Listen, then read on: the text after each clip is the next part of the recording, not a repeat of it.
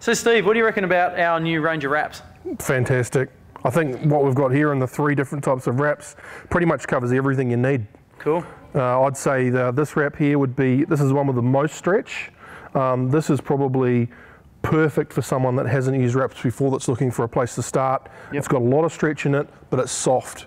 It's, it's not an aggressive wrap. Sure. It's a good one, good one to learn with. It's also, I think, a good one for training. Okay. So if you're doing looking at using wraps regularly, I'd, I'd say this would be the way. up that one. Yeah, absolutely. Awesome. Whereas these two, I guess they offer something slightly different. This one here is a, a rigid wrap. It's a hard wrap. What you'll get from that is a cast-like wrap, maximum support, also stopping power.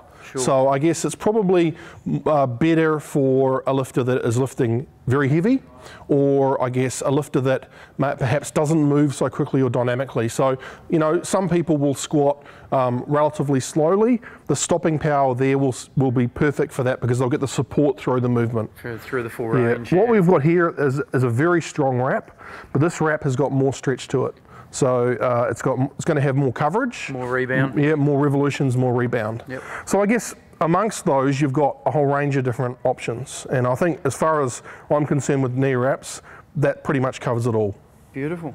No worries. Well, thanks a lot, Steve. No, no Cheers problems. for My pleasure. Uh, coming in and, and giving us the heads Oh, up it on was all good. the wraps. It was good fun wrapping you. Awesome. Yeah, yeah. I'll, t- I'll tell you. I'll tell you what's good fun.